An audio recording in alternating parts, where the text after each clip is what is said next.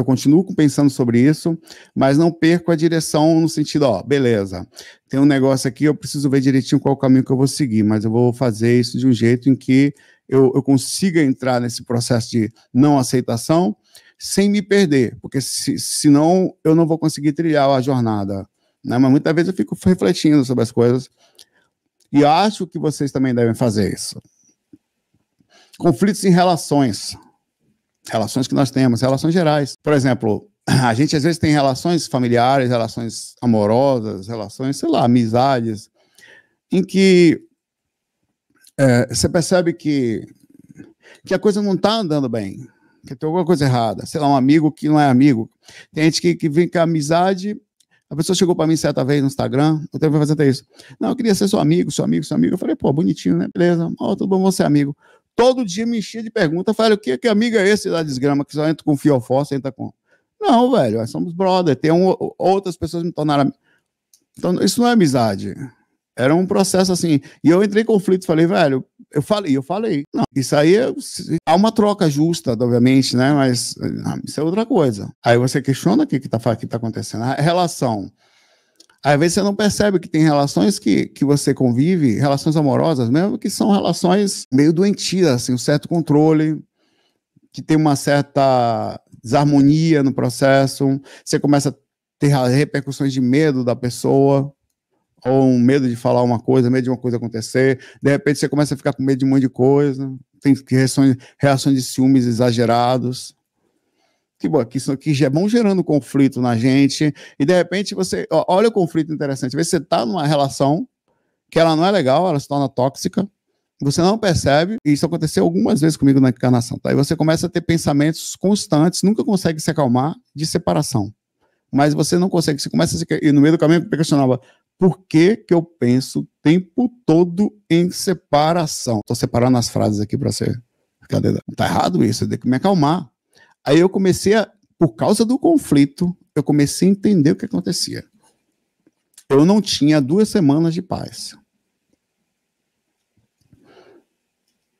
Não tinha duas semanas. Eram, brigas constantes. Eu, e eu percebi, convivendo principalmente com a Carita, um tempo, que eu precisava de um, dois meses de estabilidade para começar a pegar aquela pessoa e eu que isso criou um processo traumático que gerou conflito. Estou falando porque muitas vezes você está passando por isso. Porque o processo traumático foi assim: a menor reatividade da pessoa, eu já queria sair para não dar um problema. Então, fui fazendo um trabalho nisso, porque finalmente eu consegui entender o que, que era uma relação de você passava dois meses sem brigar com uma pessoa. Você tem uma discussão, você tem um medo, você tem uma briga, você tem uma, uma um, algo, você tem um peso nas costas, você tem uma cobrança fora do sério, uma coisa que desarmonizasse o tempo todo. E, e, isso fazia com que eu ficasse com a minha mente o tempo inteiro tentando encontrar a solução. Então eu não entrava nunca em harmonia, eu ficava o tempo todo, não, eu tenho que sair, eu tenho que sair, eu tenho que sair. E isso é péssimo. Como, que, como é que você vive num lugar que você não estabiliza? Isso não é bom. Mas isso é importante porque existe uma. E você não tem lucidez para perceber isso, porque é importante falar. Você não pode estar no lugar. Sem contar que nós estamos numa situação onde, a, espiritualmente falando, há uma cobrança muito forte em cima de mim. Então, quem fica do meu lado se flasca todo. E isso eu também tenho consciência. Algumas pessoas não aguentam. Estou mentindo, cara. Já falei vocês, antes de eu chegar aqui, Carita tinha plantas aqui há mais de 10 anos. As plantas dela tinham 10 anos. Morreram todas, só de chegar. Você traz o projeto, tem muita coisa, movimento, mas é muita energia aqui me sinto nem um pouco importante, pelo contrário. Pelo contrário. Há uma, há uma cebosa pesada mesmo. Da cobrança em cima. É forte, velho. Tem a parte boa? Tem. Tem a proteção, tem energias boas, tem coisas boas. Mas assim, esse, né, esse projeto de fazer, gravar todo dia falando de processo de abertura de consciência, pelo amor de Deus. Velho. Então, é uma coisa que, enfim, também dá conflito isso essa cobrança, né? Às vezes você fala assim, pô, queria ficar um pouquinho na cocó, né, escondido. Já pensei muitas vezes isso. Chamar menos atenção, tal, ter uma vida mesmo, digamos, mediana, né? Mas aí vem o pensamento, você quer ter uma vida mediana baseada em quê? Se você não tá, vai, eh, se você pode fazer alguma coisa a mais, por que não? Inventar alguma coisa a mais, por que não? Você vai se esconder? Conflito também, olha o pensamento. Conflito sobre a ambição. Eu tive conflito, a, a ambição tão forte de algumas pessoas, do porquê principalmente questionando, velho, se nós somos espiritualizados, claro, você tem que ter o seu dinheirinho ali, as coisinhas que vão funcionar, mas se nós somos espiritualizados, tá? E andamos em outras dimensões, tal, a gente não tem que ser perfeito, nunca vamos ser, né? Mas é natural que você não se desespere tanto por questões financeiras, você tenha lá a sua vida, suas coisinhas, sua movimentação, mas não tem uma questão absurda, né? Isso também trazia conflito, porque algumas pessoas tinham uma ambição tão forte por questões financeiras e algumas é, espiritualizadas, assim. Porque eu ficava pensando se elas eram espiritualizadas mesmo, se eram espiritualizadas, mas tinha alguns pontos que não haviam sido trabalhados. Eu o tempo todo pensando sobre isso, aí é difícil não julgar eu não julgava para os outros, mas em mim eu estava fazendo todas essas análises ali. Né? Ah, conflitos pelo como as leis daqui são feitas. Aí é massa. Por exemplo, eu, eu questiono o tempo inteiro. Eu, eu, e tanto que nós fizemos vídeos aqui sobre qual é o sentido da encarnação. Ela faz sentido. Se você pensar corretamente, ela faz sentido. Repetição, vinda, necessidade, só aprende mesmo, a gente só aprende. Velho, a alma perdida, ou a alma em, não é perdida a palavra, há um estágio de, de como um bebê em aprendizado. É, ela não vai aprender de outra forma que não seja pela, pela necessidade mesmo de experimentação. Ela não vai. Então faz sentido algumas coisas. Outras parece ser é um tipo de imposição que deve existir, é, aí você para pensar uma coisa mais inteligente que explica, né? São regras. Se você observa sobre a ótica de uma vida só, alguma das coisas não fazem sentido. Não faz. Se a questão, por exemplo, de, de, a encarnação, ou pelo menos assim, a vinda de várias vezes para cá, ela de alguma forma alivia um pouco isso. Não faz a menor sentido uma pessoa nascer já na infância com leucemia e a outra boa, e às vezes numa família mais pobre. Não faz sentido isso, velho. Numa vida não faz.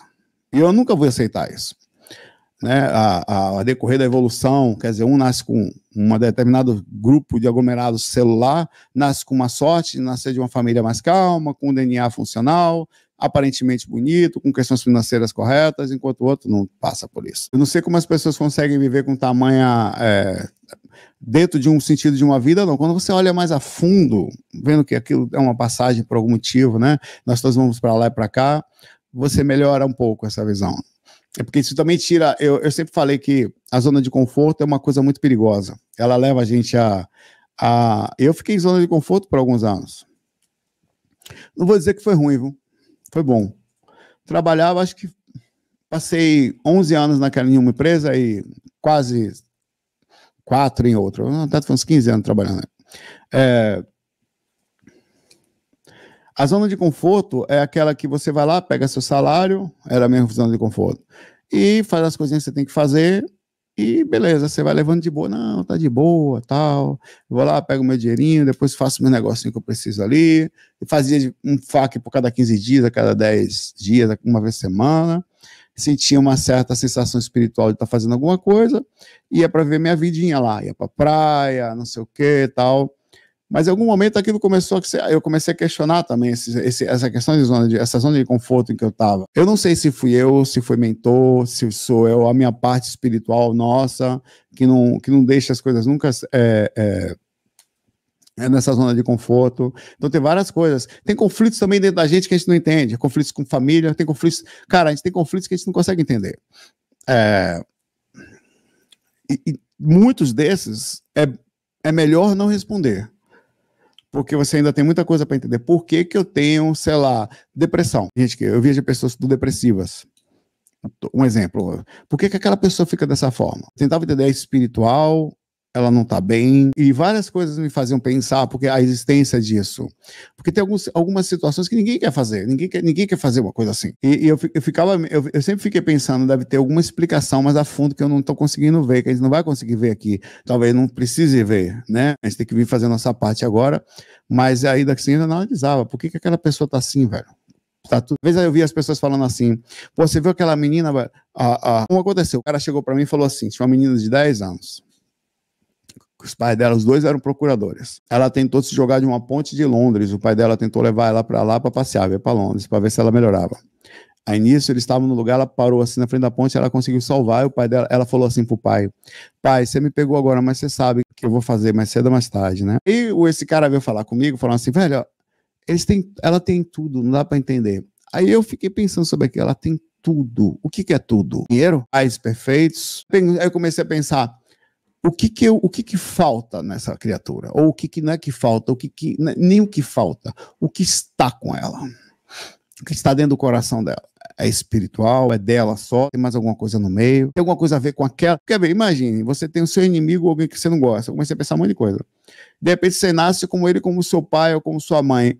Você ia ficar bem ali, com todas as condições existentes? Tão relativo isso, né? É, a própria facilidade seria um problema. É, isso foi testado, tá? É, eles testaram o limiar da felicidade de que uma pessoa pode alcançar. Eles descobriram que você está. Foi um, o teste acho que foi assim: você sentar e tomar uma cerveja com seus amigos, ou num lugar legal, numa praia, é a mesma limiar de felicidade de você pegar um, um, É porque a gente não percebe, na hora de sentar e estar tá sentado ali numa viagem, no lugar, sei lá, em Paris, tomando um café, ou uma cerveja também lá. É, o limiar é o mesmo, o mesmo. O limiar de felicidade é o mesmo alcançado. A quantidade de dinheiro que você tem não muda. Então chega uma hora que você só vai precisar para alcançar o mesmo limiar de um nível muito mais alto de retorno para poder suprir uma sensação que não mais se chega.